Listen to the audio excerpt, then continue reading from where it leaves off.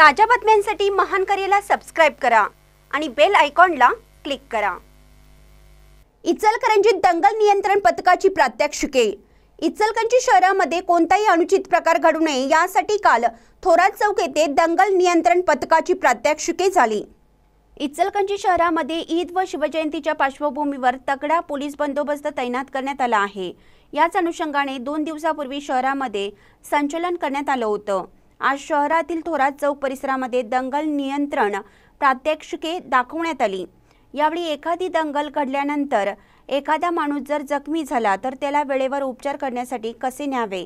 जर गोळीबार अगर बॉम्बस्फोट झाला तर लोकांना वेळेवर कसं उपचार द्यायचे व कसे पोलिसांमार्फत दंगल नियंत्रण काबू करायची याची प्रात्यक्षिके थोरात चौकात दाखवण्यात आली. यावेळी नगरपालिका प्रशासनामार्फत अग्निशामक दल ॲम्ब्युलन्स शहरातील पोलीस कर्मचारी अधिकारी मोठ्या संख्येने उपस्थित होते. थोरात चौकात पोलिसांची अचानकपणे एकच धावपळ उडाली होती. पण नंतर पोलिसांनी ही प्रात्यक्षिके आहेत असं सांगितलं.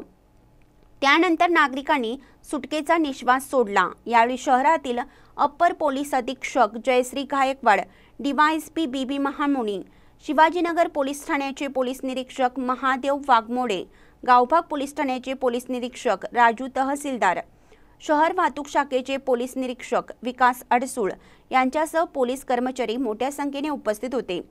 महानकारी न्यूजसाठी इचलकरंजून निखिल भिसे.